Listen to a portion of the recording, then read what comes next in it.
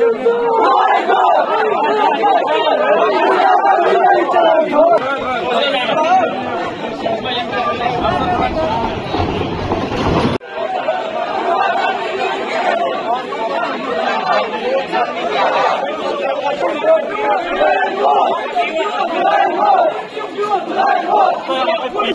वालेकुम नाजरीन आप देख रहे हैं गुड मॉर्निंग कश्मीर हम इस वक्त मौजूद है सैनबल पटन इलाके में, जहाँ पे आज सुबह से ही लोगों के ज़रिए एक एहतजाज हुआ पानी की किल्लत को लेके, जहाँ पे लोगों का कहना था कि इन्हें पानी ना होने की वजह से काफ़ी मुश्किल का सामना करना पड़ता है। जिसके बाद लोगों ने काफ़ी इल्ज़ाम किए थे।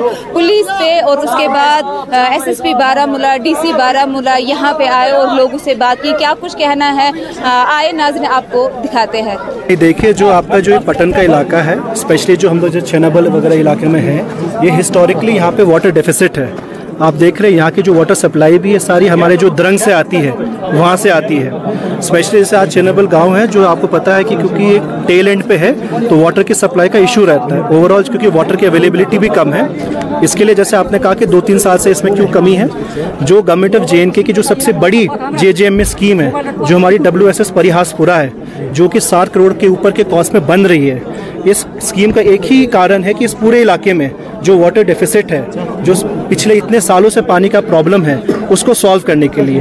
अब आपको पता होगा कि इतनी बड़ी जब स्कीम बनेगी तो वो ओवरनाइट तो नहीं बनेगी।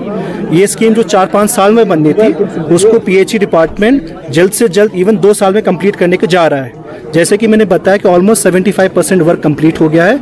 हम ये आशा करें कि अगले छः सात महीने में ये काम हो जाएगा, जिससे नॉट जस्ट छेनाबल इस पूरे पटन इलाकों को, जो पानी की डेफिसिट है, क्योंकि पानी हम यहाँ पे सिंध नाले, गांधरबल डिस्ट्रिक्ट से ला रहे हैं, उससे पूरे सब डिस्ट्रिक्ट को पानी सप्लाई हो जाएगा। मीन हम यही कोशिश करें, हमारे साथ चीफ इंजीनियर भी आए हुए हैं, हमारे एस साहब भी यहाँ पे अवेलेबल हैं। हम यही कोशिश करें कि नॉट जस्ट का, पूरे इलाके में जहाँ पे भी वाटर शॉर्टेज है वहाँ पे या तो टैंकर से कोशिश करें या एग्जिस्टिंग जहाँ पे गाँव की सप्लाई आ रही है, वहाँ से डाइवर्ट करके यहाँ देने की कोशिश करें तो जैसे छेनबल की बात है, यहाँ पे जो सप्लाई हमारे, क्योंकि श्रीनगर से आता है तो हम कोशिश करें कि वहाँ से सप्लाई की ऑगमेंटेशन हो सो डैट जो आवाम को कोई दिक्कत ना आए। तो आज हम पूरी टीम यहाँ पे एसएसपी साहब भी आए हैं यहाँ पे एसडीएम साहब भी हैं हमारी पूरी पीएचई की भी टीम है।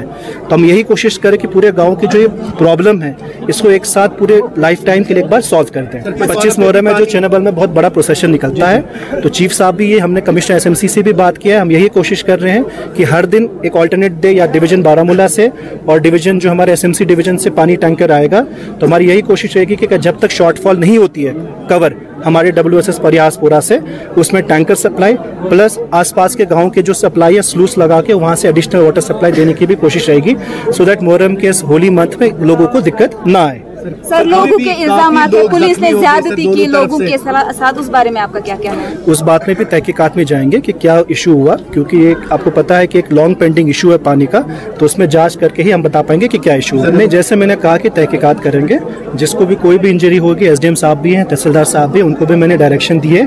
किसी को भी कोई इंजरी है कोई भी दिक्कत है कोई का कोई नुकसान हुआ है उसकी रिपोर्ट बना के देंगे। हम कोशिश करेंगे डिस्ट्रिक्ट के रेड क्रॉस से एसडीआरएफ फंड से उसको कॉम्पनसेट करने के। जो वाटर टैंकर्स का इशू है जो डिस्ट्रिक्ट पे जितने भी वाटर टैंकर्स है, मैं आपको अश्योर करना चाहूँगा, हमने more than 50 percent water tankers पूरे डिस्ट्रिक्ट बारामूला के, हमने यहाँ सब डिस्ट्रिक्ट बारामूला पटन में लगाए सो डैट मुहर्रम के मौके में यहाँ पे कोई इशू ना हो।